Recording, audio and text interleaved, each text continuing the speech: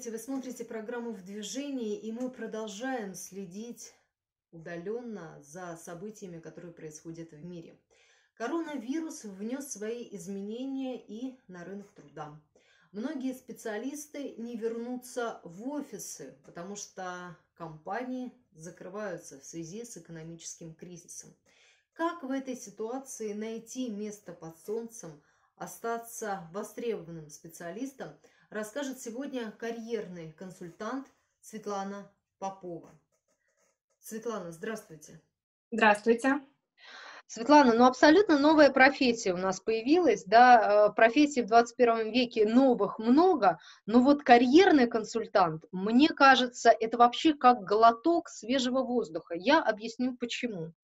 Потому что люди очень часто строят карьеру, потом как у многих, опускаются руки, например, да, и они не знают, куда идти дальше. Они заблудились, и они не способны посмотреть на свой опыт совсем иначе. Им нужен некий такой человек, который им поможет как-то их направить. Uh-huh.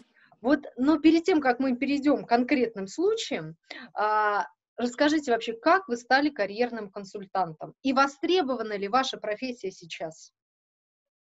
Вы знаете, а, вы уже практически ответили на этот вопрос. Вот, Саня. А, смотрите, нужно, наверное, начать с того, что я работаю изначально в сфере подбора персонала, но я не работаю в какой-то там конкретной компании, которая а, там ищет людей только для себя. Я работаю в рекрутинговой компании, и мы занимаемся подбором персонала для крупных международных компаний, не крупных международных, вот, крупных российских и так далее. И практически 8 лет я в этой сфере, и я постоянно вижу, как люди строят карьеру, да, как у них это получается. Я вижу их провалы, я вижу их промахи, я вижу, почему у них что-то не происходит.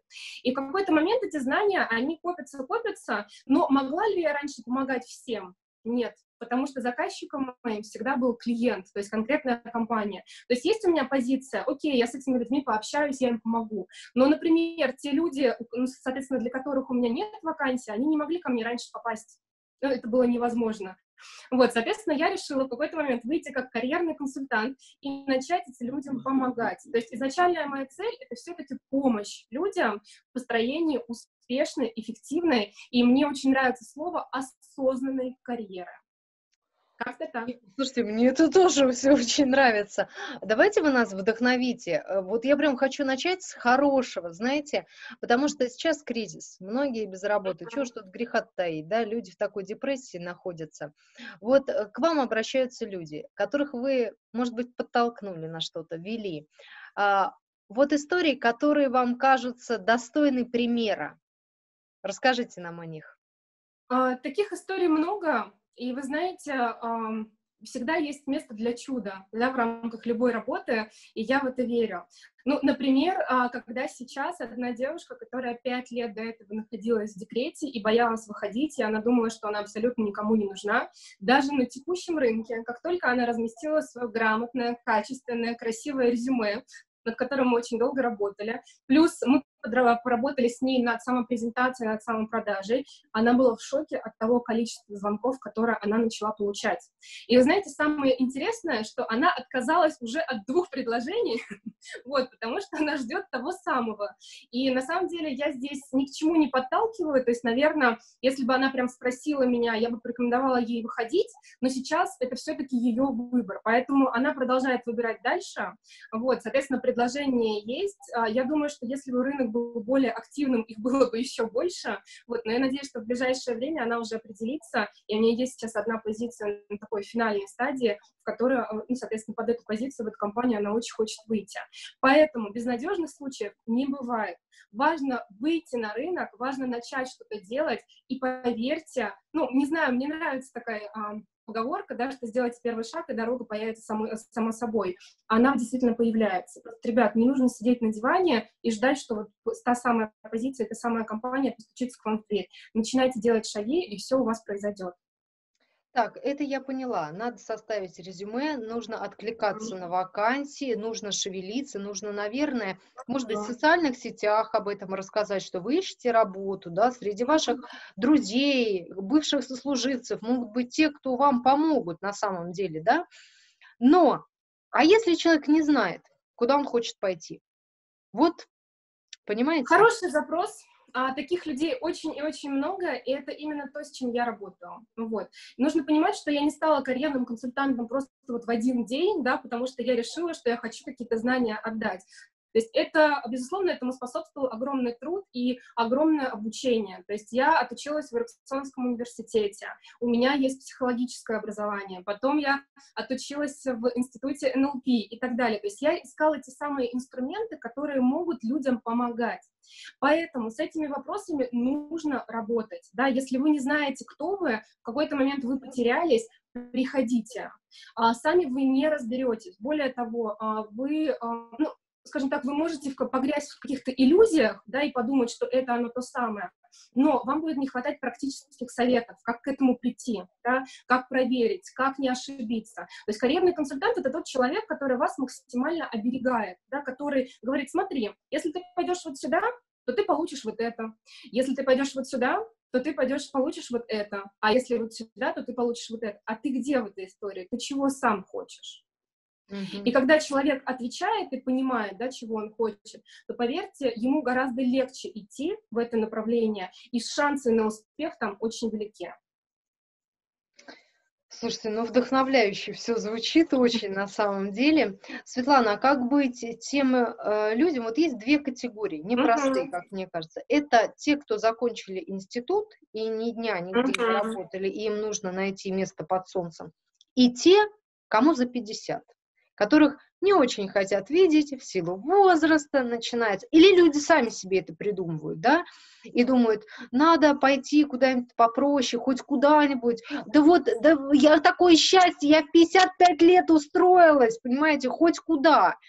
Правильно это, неправильно. Давайте начнем со студентов. Что делать студентам? А, да, мы как бы думаем, что у них проблема в том, что их никуда не берут, я бы сказала, что у студентов сейчас немножечко другая проблема. Они на входе очень многого хотят. И это то, с чем мы сталкиваемся. То есть а, студенты на входе хотят большие деньги. Да. А студент... Угу. Вот вы знаете, можно я просто поделюсь опытом? Ко мне на стажировку ежегодно приходят студенты из лучших вузов страны. И когда угу. я с ними разговариваю, они мне говорят, вы знаете, ну я хотел бы там 1120 получать. На входе, да? Понимаете, да? да? Угу. Что я могу сказать? Я вас прекрасно понимаю, потому что это то, с чем мы постоянно сталкиваемся, и это такая а, новая проблема поколения, я бы так сказала, потому что, например, когда я еще начинала, вот честно, я готова была за любые деньги хоть скрепки собирать. Главное, я готова была бесплатно работать. Я да? приходила на собеседование, и мне говорили, вы приняты? Я говорила, спасибо. И в дверях меня спрашивали, девушка, а вас не интересует зарплата? Я говорю, да вы что, мне за это еще будут платить? И вы знаете, так, это, видимо, вот у нас с вами поколение такое. Это где-то у нас и осталось. Глаз горит, готов работать. Будут платить? Ну, хорошо. Угу. И вы знаете, на самом деле главный секрет успешной карьеры, то есть любить то, что ты делаешь, и деньги придут, но деньги придут чуть позже. Если на входе ожидать большие суммы, то велик риск не с того начать. То есть, а, что происходит с такими студентами? Они гонятся за деньгами, они упускают какие-то классные компании, замечательных руководителей, да, которые могли бы в них вложить и могли бы их обучить да, чему-то. Соответственно, они упускают возможность получить тот опыт, который они потом будут монетизировать. Соответственно, они выходят изначально на большие деньги, как они думают, они думают, что они прекрасно устроились, окей. Через пару лет у них возникает вопрос, а кто я, чего я стою, вот пойду-ка я еще что-то поищу. И оказывается, что они никому не нужны потому что у них нет красивой компании в резюме, да, которая будет привлекать другого работодателя. У них нет интересного опыта, да, который востребован на рынке. Более того, не факт, что другой работодатель за это заплатит ему даже те деньги, которые он сейчас получает.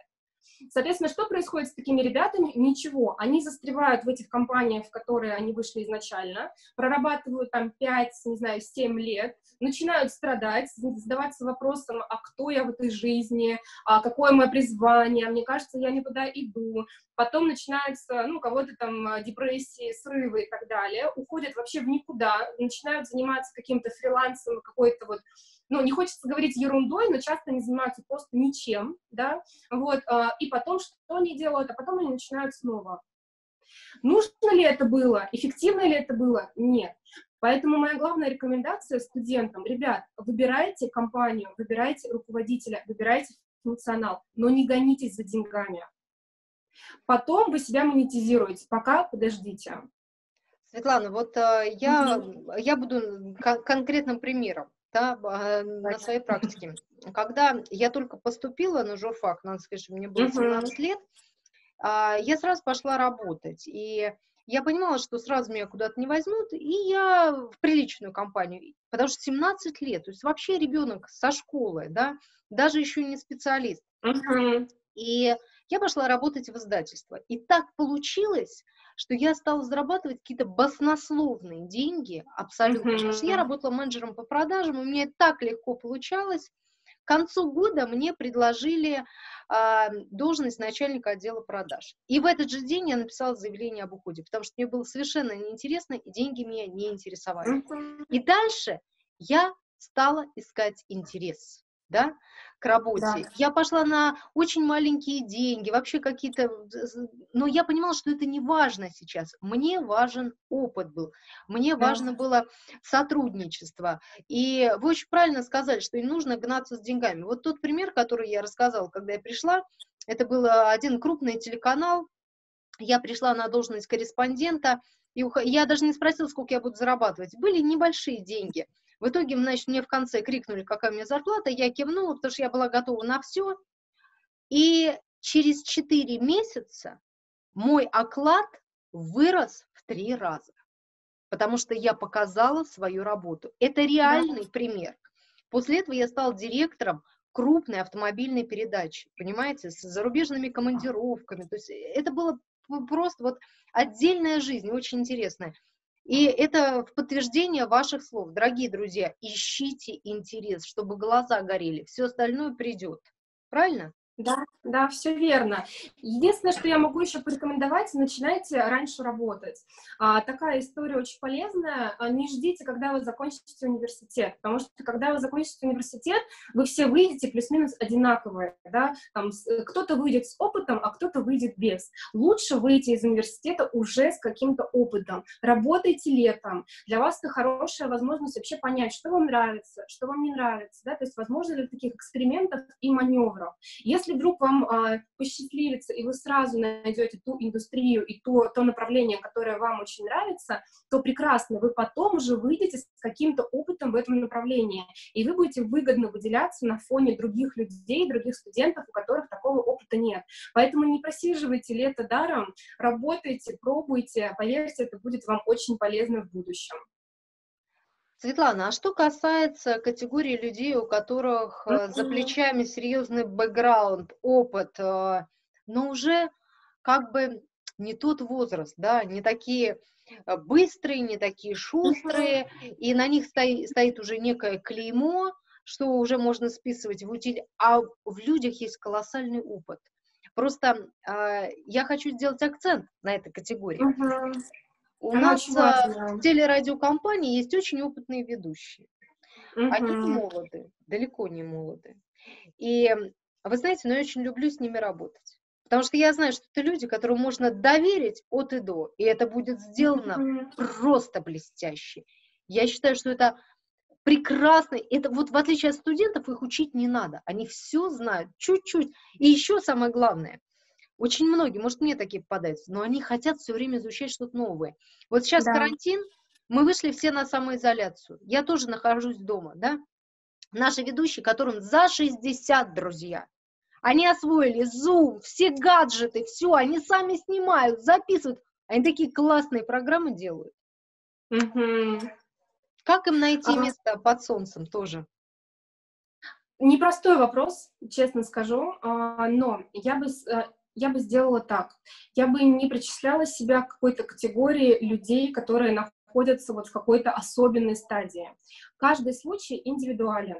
И если вы действительно профессионал, если вы а, там, продолжаете сохранять определенный там, оптимистичный настрой, если вы энергичны, если вы а, там, жизнедеятельны, да, у вас много чего происходит, то вот честно, таких людей за 50, у которых будут проблемы с а, потом а, поиском новой работы, я не встречала. Обычно их работа находит либо они что-то находят. Просто они предпринимают шаги, окей, там будет большее количество отказов, да, причем, ну, мы прекрасно понимаем, что не всегда даже скажут, что отказали из-за возраста, потому что ну, это все-таки запрещено, вот, но а такие отказы будут. Окей, просто нужно чуть больше усилий. Вот. Но с чем я сталкиваюсь часто, что вот люди в том возрасте, они сами опускают руки, они теряют веру в себя, они начинают ходить на интервью уже заранее погасшими глазами, да, с уверенностью, что их не возьмут. Я понимаю, что это нелегко, да, когда вам до этого несколько раз отказали, вот снова собраться и пойти, там, убеждать, что вы классная, замечательная. Но а, это нужно делать. Просто количество усилий будет, будет чуть большим, да, чем нежели это было там пару лет назад, да, когда вы были там 45, не знаю, 45 плюс. Вот. Просто чуть больше в это инвестируйте. Поверьте, а, у нас огромное количество компаний в Москве, либо в других городах, и если вот в это вам отказали, это не значит, что откажут во всех остальных, да? Обязательно найдется где-то тот самый работодатель, та самая позиция, которая вас давно ждала. Вот, просто делайте, просто а, идите к этому. Сейчас многие компании отошли от этого, да, какого-то стереотипа, что взрослые люди им не нужны, и сейчас они, наоборот, к этому возвращаются, потому что вы правильно сказали, что чем больше возраст, тем больше опыт у человека. Вот, поэтому не бойтесь, не навешивайте себя ярлык а, такой вот не нужно никому, и шагайте смело. Поверьте, все найдется. Иначе быть не может. Светлана, ну мы уже стоим не то чтобы на пороге кризиса, мы уже давно в этом кризисе, да, и э, карантин показал, что далеко не многие вернутся в офис. Я имею да. в виду не только удаленную работу, а я имею в виду то, что, к сожалению, многие компании вынуждены завершить свою работу и mm попрощаться с сотрудниками. Что делать людям в этом случае? Деньги надо зарабатывать, надо еще как-то найти себе работу, а угу. если он не очень востребован, если, да, если мы говорим не, а, понимаете, не о человеке, который там с амбициями бежит вперед строить карьеру, нет, есть и другая категория людей, хороший исполнитель, но да. есть проблемы на рынке труда. Что делать людям? Осваивать что-то новое? Вот какие-то универсальные советы можете дать? Ну, давайте начнем с первого. А, проанализируйте, сколько у вас есть денег. А, проанализируйте, какая у вас есть подушка безопасности. А, я бы сказала так, а, посчитайте среднее количество денег, которые вы тратите в месяц, с учетом кредитов, не знаю, ипотеки, продуктов, вот из какого-то такого комфортного минимума, чтобы не прям совсем вам было тяжело, да, там, ну, например, это будет, не знаю, 70 тысяч рублей. Посмотрите, сколько денег у вас есть. Правило такое, что если у вас денег меньше, чем на 6 месяцев, то вам нужно срочно искать работу. То есть э, активно обновлять резюме, откликаться, использовать различные источники, не только, например, HeadHunter и SuperJob, но идите на LinkedIn, а, идите на Facebook, смотрите там в профильных группах вакансии интересные, идите в различные группы в Телеграме, да, для каждой специальности они там свои, активно предпринимайте шаги. Идите на сайты компаний, да, которые вам могут быть интересными, ищите там контакты HR, проактивно рассылайте им ваше резюме. То есть прям активничайте. А, я таким людям не рекомендую уходить в поиски чего-то нового и осваивать новую специальность, потому что а, на это уйдет время. Да? Для того, чтобы освоиться в новой специальности, требуется минимум там 6-12 месяцев. Это вот прям совсем минимум. Да, я, уже не говорю про 10 тысяч профессиональных часов, часов, да, которые тоже сейчас очень модные. Но вот прям минимум это 6-12. Вы просто до этого периода не доживете. Поэтому эффективнее продавать тот опыт, который у вас есть. Если вы где-то сомневаетесь, что вот, ну, я не очень себя вижу в этом направлении, окей, потом вы можете поэкспериментировать, да, и попробовать какое-то новое направление параллельно. Пока этого не произошло, ищите а, ту специальность, в которой вы уже профессионал. Если же вы понимаете, что вы а, прекрасно проживете больше, чем 6 месяцев, да, то там два варианта. Вариант номер один, а, если, например, вы хотите развиваться дальше в своей специальности, то вы можете отдохнуть, да, вы можете как-то перезарядить батарейки, потому что, возможно, до этого вы работали 5 лет без отпуска, и вам это просто нужно. Вы можете переждать лето, потому что лето всегда очень низкий сезон для подбора персонала. Подождать, соответственно, осени. А, осенью ну, мы надеемся, что будет большее количество количество вакансий, а это значит, что вы сможете из большего а, количества выбирать. Вот, соответственно, это как бы совет для вас. Если же вы не планируете развиваться по своей специальности, и вы очень рады, что вас сократили, да, там, либо что-то еще произошло, то сейчас прекрасное время для, для, эксперимент, для экспериментов. Пробуйте новое, обучайтесь, ходите, посмотрите курсы по вашему направлению, да, сейчас они все доступны в онлайне. А, посмотрите вообще, кто вы, что вы, попробуйте, не знаю, может быть, по какую-то практику пройти, да, по новой специальности, предложите бесплатно, да, там что-то поделать. То есть просто попробуйте что-то новое, у вас такая возможность есть. Но, соответственно, если подушки безопасности больше, чем на 12 месяцев, то, ребят, вообще спокойно можете уходить во что-то новое, не беспокоиться и развиваться в новой специальности. То есть, Светлана, если я вас правильно поняла, в среднем на сегодняшний день это полгода поиска работы, да, э, тратит человек, ну, в среднем. Это максимум, я так скажу. А, есть люди, которые находят работу за две недели, есть люди, которые раб- находят работу за, там, не знаю, 6 месяцев, а есть те, которые год ищут. Я не могу дать какого-то универсального рецепта, потому что все зависит от вашей специализации, да. То есть, например, если вы работаете в сфере IT, а эта сфера сейчас очень перегрета, то, как понятное дело, что вы найдете работу быстро, да. Если вы работаете в какой-то сфере, на которую не очень большой спрос, ну, например, там, в сфере туризма, да, мы прекрасно с вами видим, как сейчас эта сфера пострадала то, конечно, вам потребуется больше времени на поиск работы в этом направлении. Вот. Но а, давайте так, как а, как найти быстрее, нужно над собой поработать, да, потому что можете быть каким угодно прекрасным специалистом, но если у вас некрасивое резюме, что такое красивое резюме и некрасивое, я не буду, наверное, подробно объяснять, но там не расписали свой опыт, не продали себя грамотно, да, да не преподнесли как-то. Вот, если у вас плохая самопрезентация, то есть вам звонят по телефону, и вы не умеете себя презентовать, вы не умеете там донести то, чем вы занимались, вы не умеете как-то хорошо себя вот прям продать, да, мне нравится это слово, вот, то, соответственно, окей, каким бы вы профессионалом не были, это не поймут, это не оценят, и вам за это не заплатят. Поэтому работайте над самопрезентацией, это прям очень и очень важно. Я говорю так часто, что резюме — это, наверное, процентов 5, максимум 10 успеха. Все остальное — это то, как вы себя преподнесете. Понятное дело, там есть такой фактор, на который не очень нельзя влиять, например, химия да, с будущим работодателем, а она есть. Вот. Но делайте все то, что вам подконтрольно. Все остальное случится в любом случае. Пример. Опять-таки, я же говорю, я сегодня буду э, рассказывать на собственном опыте.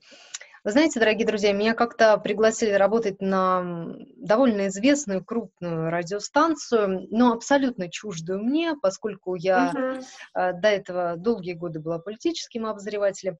И я пошла ради прикола. Вот. А, я одела на себя все лучшее, в лучших традициях этой радиостанции. Прошло собеседование, и в конце мне задают вопрос. «Э, вы знаете, у нас так много претенденток на эту должность.